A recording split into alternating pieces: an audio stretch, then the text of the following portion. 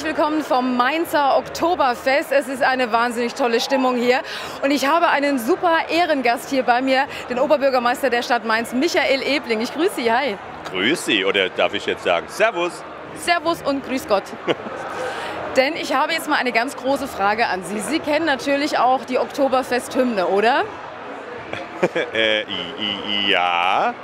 Wie textsicher sind Sie denn da? Oh, nee, mäßig, nee, mäßig, ganz mäßig. Ich, Mäßig? Soll ich Ihnen sagen, was ein Zufall, habe ich die Band echt gut hier, die Ihnen gerne so ein bisschen auf die Sprünge helfen wollen. und, und jetzt müssen wir singen? Der Refrain. In Mainz, da ist Oktoberfest. In Mainz, da ist was los. In Mainz, da ist Oktoberfest. Die sind schön, die Baum scheint okay und die Gaude, die ist riesengroß. In Mainz, da ist Oktoberfest. In Mainz, da ist was los. In Mainz, da ist Oktoberfest. Die Mannen sind schön, die Jungs sind schreien, hey, und die Audi, die ist riesengroß.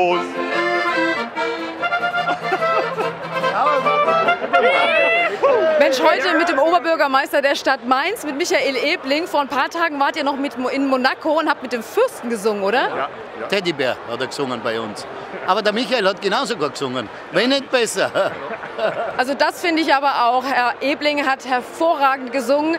Der Platz in der Band ist definitiv sicher für nächstes Jahr und ich glaube, Sie haben sich jetzt Ihr Bierchen auch verdient. Also jetzt ein Bierchen und mindestens ein halbes Hähnchen mindestens. Vielen Dank vom Oktoberfest, Alexandra Philips.